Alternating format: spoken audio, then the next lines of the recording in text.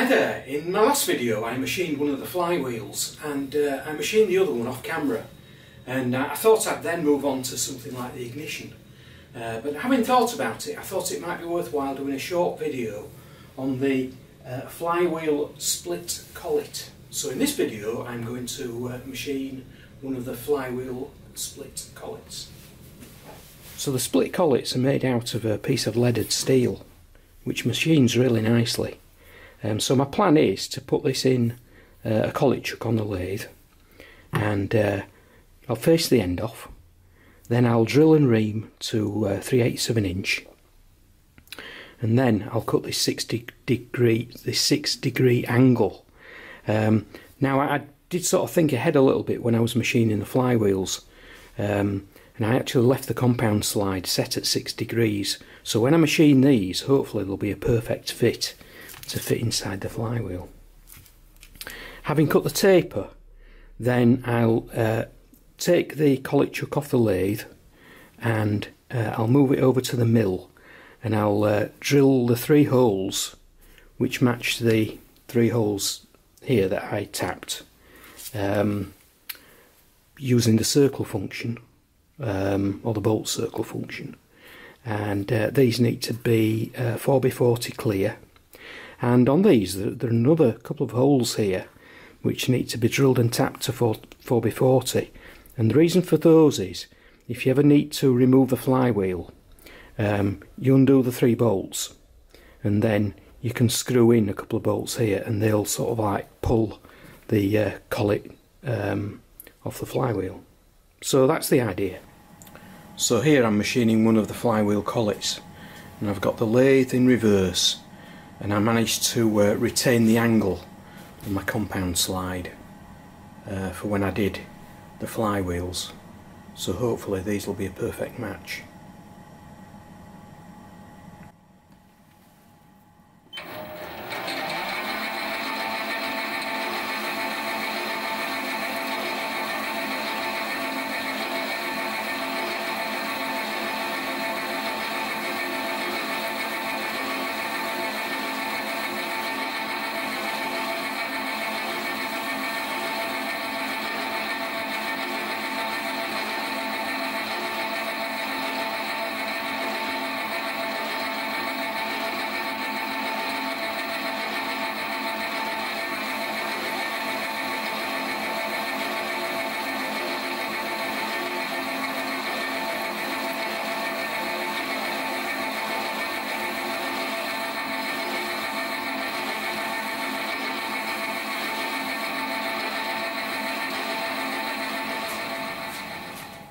So the idea is to take the taper down so that when the flywheel fits on it you've got a gap there of 25 thou.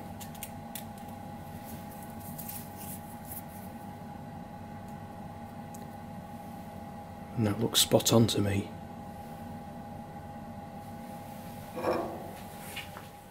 So I've decided to drill a bolt circle while it's still held in this collet chuck. Can't get in with the centre drill so I'll just have to uh, risk it.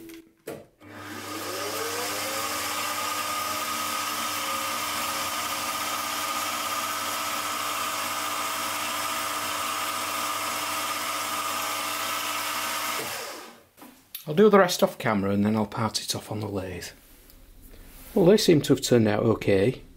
I just cut the slit manually with a hacksaw. That one's not too bad, but I could have kicked myself on that one. It's just slightly out. But I don't think it matters that much. It's just a visual thing. And uh, that's the idea behind them.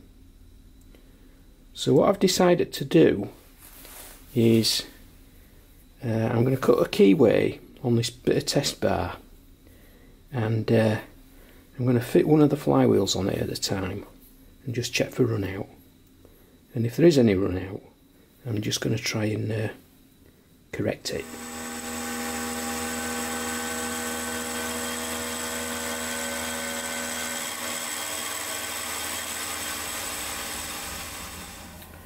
So I've centred this piece of 3 eighths of an inch silver steel in this 4 jaw chuck and now I'm going to uh, just use this centre drill to put a recess in the end.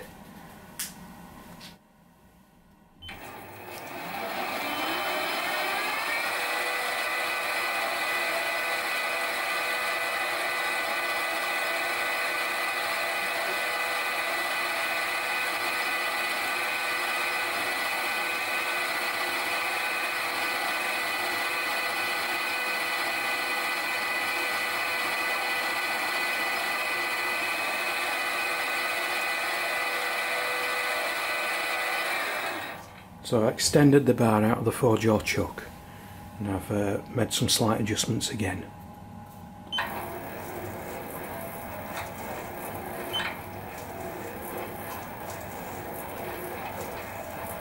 So that's looking spot on. Well I've cleaned all the surfaces up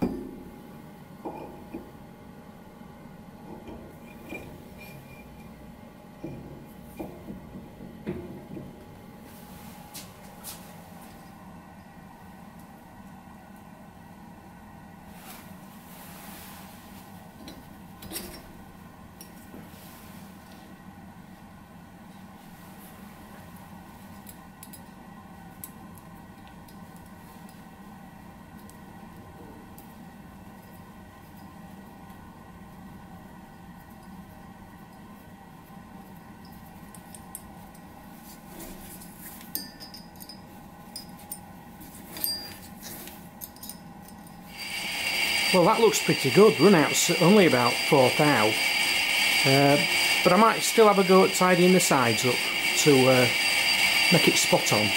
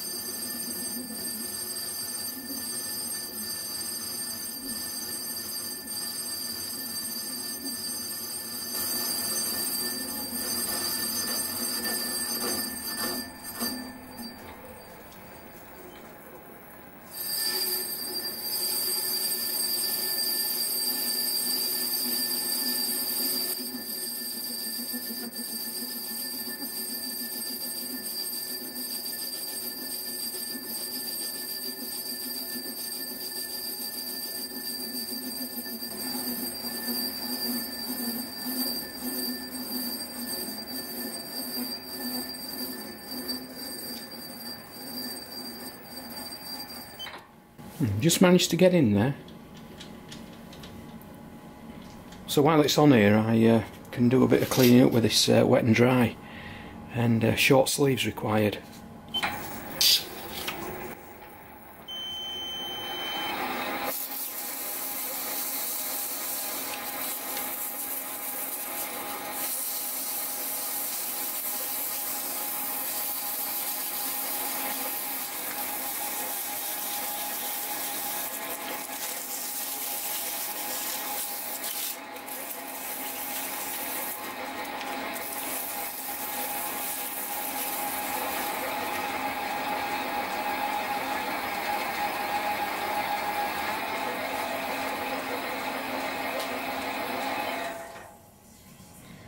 So this is the other flywheel. There.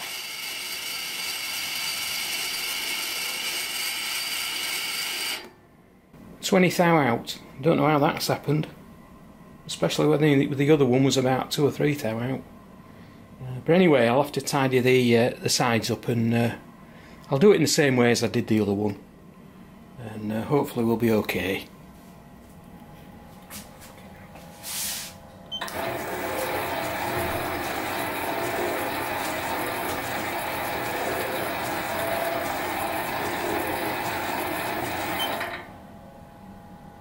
Not looking bad now.